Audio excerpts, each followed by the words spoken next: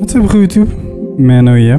Today I just want to share this progression with you guys. It's a Bart Orr progression. I heard him do it on YouTube, like one of the YouTube videos. Okay, so he did it on Made A Way. Okay, it's something you can do over the four. Okay, so we're gonna do it in the key of C. Okay, so the four would be F.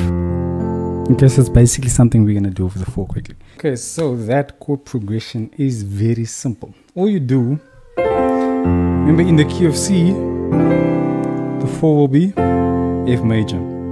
Okay. So what we're gonna do is we're gonna play that melody over the four. Okay, so four. So that's G A C. Okay, so it sounds something like that. Okay, so that's on your right hand. Your left and what you do is essentially you play F major chord. Okay, so you have your F, A, C, and F. Okay, so what you do is you're gonna play the one. So let's say the chord is made up of four notes. One, two, three, four. Those are the four notes. We're gonna play first note, the third note, and then after that we're gonna go to the second note, the fourth note. Okay, so it's just a normal F major chord. So that's what we're gonna do and we'll be doing that when we play that melody over the four. So you're gonna go? Okay so the first part is over the one and three. Second part of the melody when you land on that C that's when you play that one. So you go. Okay. And then you can do the same thing over the C. So you go to the C major chord in your left hand you play the one and three or not one and three, but the, the first note and the third note, and then the second note and the fourth note. Okay, so you play it in these two different pairs. Okay, so you go, which is a D E to the G. Okay, so it goes. Okay, so you first do it over the F, and then over the C, and then you can go an octave higher and do it again over the F back to the one. Okay, so we did that over the four, went. Okay.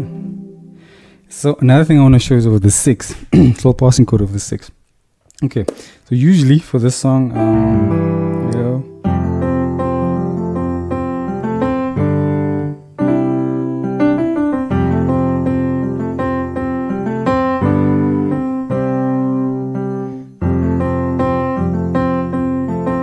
then we go to the 5 and then to the 6 okay so what we're gonna do here instead of instead of just going straight to this to the 5 we're gonna play like a diminished walk up and then play the 5 and then the 6 okay so we're still gonna do the 5 and the 6 but before we do that we're gonna do a diminished walk up to get to, to that. So what that diminished walk up is essentially this. If you look at these two hands I'm playing tritones in both hands okay but it essentially makes up a diminished chord. So if you take this F sharp and you play it at the bottom you'll have a diminished chord okay? So I'm just basically spreading these two out and playing two tritones in both ends. and then you walk this up.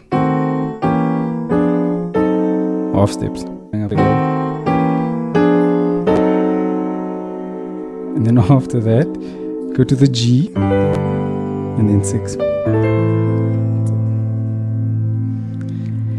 yeah so guys that's it. That's the two things i wanted to show you guys share with you guys today. And i hope it makes sense and i hope you can see how you can use these different moves in the songs you're currently using. And by the way this guy Bart Orr i only learned about the guy recently so if you guys know of anyone that you think I should check out as well, just leave a comment. Um, I'd love to see if I can break some of their stuff down for you guys as well. But by the way, if you still if you enjoyed the video, I shot another video where I showed 10 of my favorite chords and licks. So if you enjoyed this kind of thing, I think you'll enjoy those as well. So um, click the link below and I'll send that through to you. Okay. See you again real soon. Thank you. God bless. Bye bye.